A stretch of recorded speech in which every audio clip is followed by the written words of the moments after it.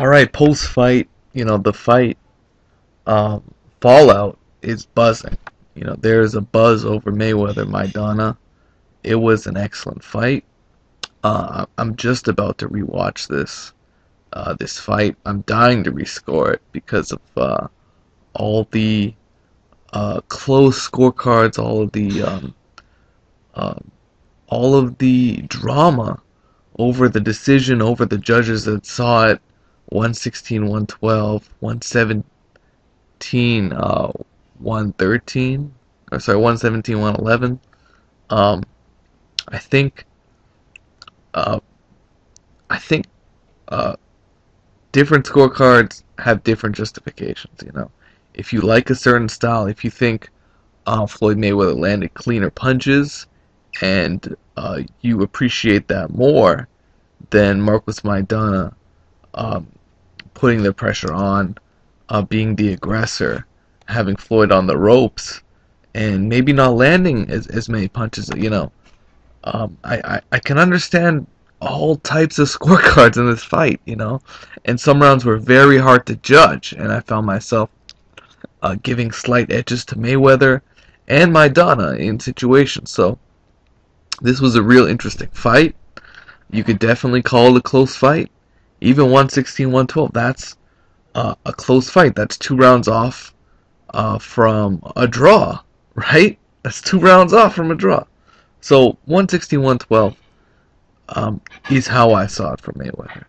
But one key issue in this fight, and I, I, I think it's a, a, a very big blunder that Mayweather made was to have this out for Maidana, to have this excuse um, when he clearly outboxed him in in the second half of the fight.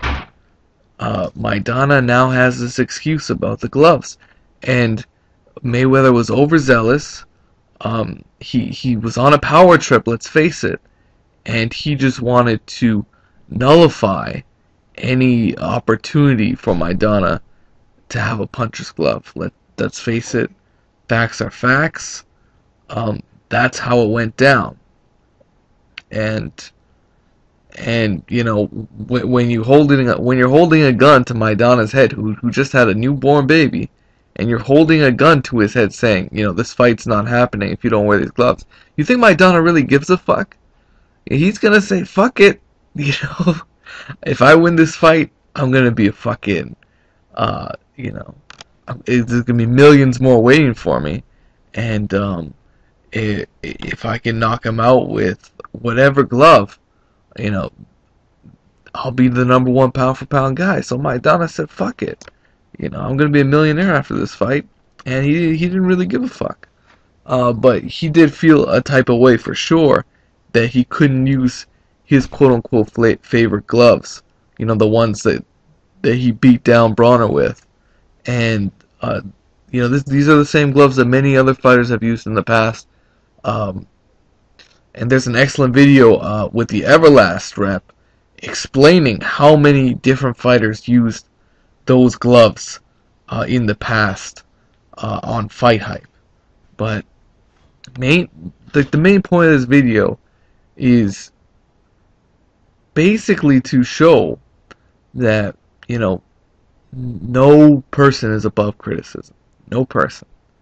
And even Mayweather, as excellent of a boxing performance he put on, and although it was a close fight, um, he dug deep.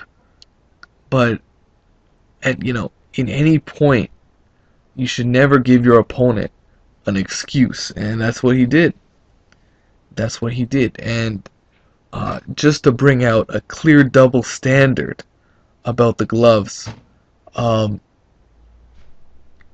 we know Manny Pacquiao took a loss uh, early in his career.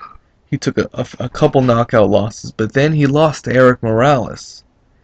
And you know, a lot of people want to talk about that as a clear loss, and, and, and let's let's really consider it here, because um, Manny Pacquiao um, always use the Cleto Reyes, the puncher's glove. However, in that Morales fight, he was actually forced to use the winning gloves, which is a, a type of pillowy glove as well, uh, that Erik Morales stipulated uh, to use the winning gloves, and that was Manny Pacquiao's. Uh, that was his excuse as well. That was his out, and, and you look what happened in a rematch. Manny Pacquiao fucked Morales up in the second fight and knocked him out. So there is some a case to be made about this. There is an argument that you know gloves can make a difference, and Mayweather should not have let uh, you know this excuse to be uh, funneled throughout the media in the aftermath of this fight, and you could you could tell he's he's uh, he's taken it a type of way where he's offended by people bringing up the gloves. he's you can tell because his his excuse is bullshit. it is, it is. This is boxing. This is the hurt business, you know. And, and when you have an approved type of glove, and you want to be the arbiter on, you know, no, you can't wear this type of glove. It really makes you look like an ass. It makes you look like a total ass, and it, it's really uncalled for. You know, it, it's it's just as bad as having a catch weight and giving that guy an out. Okay, well, it was a catch weight. That's why we lost. You know, it's just one of these things that Mayweather did not have to do, and he's gonna have to hear about it for the rest of this post-fight aftermath. And maybe down the line, if a rematch doesn't happen, it's gonna be for the rest of his career. So let me know what you guys think. Again, the Manny Pacquiao example is one example. I'm sure there are others. Uh, but let me know what you guys think.